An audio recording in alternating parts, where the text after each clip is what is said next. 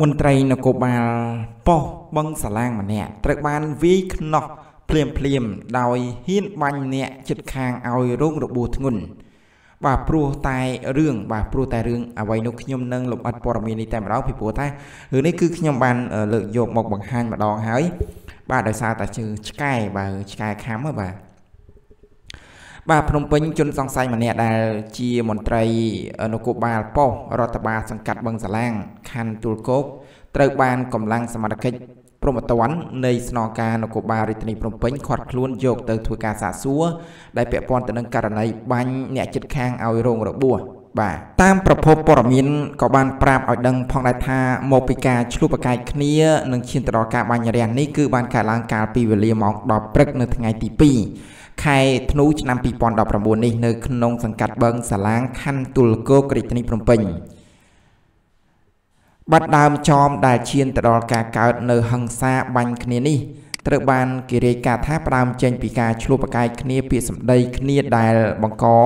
បាទដែលបានបង្កឲ្យមានការស្រែកផងយំផងក្រោយពីធ្វើសកម្មភាពបាញ់ទៅលើជនរងគ្រោះ បាទនៅពេលកាត់ហេតុជនសង្ស័យបានប្រើនៅបាទប្រើប្រាស់នៅអាវុធម៉ាក AK47 បាញ់ចំនួន4គ្រាប់ដោយ3គ្រាប់បាញ់ទៅឡើងលើ បាទបាញ់ឡើងលើហើយនឹងមួយគ្រាប់ទៀតបាញ់ចំជនរងគ្រោះបណ្ដាលឲ្យរងរបួសហើយត្រូវបានបញ្ជូនទៅមន្ទីរពេទ្យភ្លាមៗតែម្ដង បាត់ភ្លាមភ្លាមនោះផងដែរជនរងគ្រោះក៏ត្រូវបានបញ្ជូនទៅសង្គ្រោះបន្ទាន់នៅឯមន្ទីរពេទ្យចំណែកឯជនសង្ស័យត្រូវបានសមត្ថកិច្ចឃាត់ខ្លួនយកទៅធ្វើការសាកសួរនិងកសាងសំណុំរឿងតាមនីតិវិធីច្បាប់ផងដែរបាទអ្វីដែលសំខាន់នៅក្នុងនេះគឺបើតាមខ្ញុំដឹងពីប្រភពគឺអឺកាត់ឡើងចេញពីការខឹងឬឆ្កែខំបាទខឹងឬឆ្កែខំអឺហើយគាត់ដែលជាប៉ូលីសហ្នឹងគឺគាត់បានជក់គ្រឿងញៀនទៀតបាទបានជក់គ្រឿងញៀនទៀត ដែលបណ្ដាលឲ្យមានហិង្សាកើតឡើងដូចនេះឯង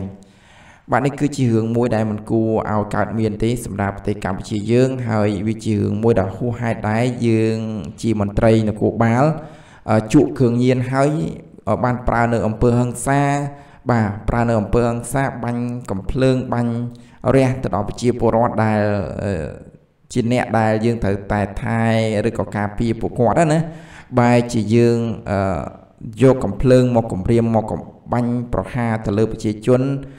ស្លូតត្រង់ទៅវិញ បាទនេះគឺជាអំពើមួយដែលមិនគួរគប្បីធ្វើនោះទេសម្រាប់មន្ត្រីប៉ូលីស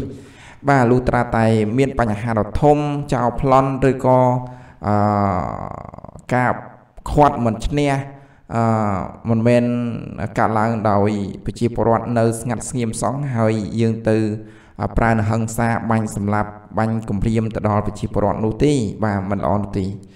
បានចឹងខ្ញុំក៏សូមបញ្ចប់នៅព័ត៌មាននេះតែម្ដងបាទដើម្បីបន្តបាននៅព័ត៌មានបន្តទៀតសូមជួយចុច like ចុច share និងចុច subscribe លើ Channel Stand Up របស់យើងខ្ញុំផងដែរបាទសូមអរគុណសូមជម្រាបលា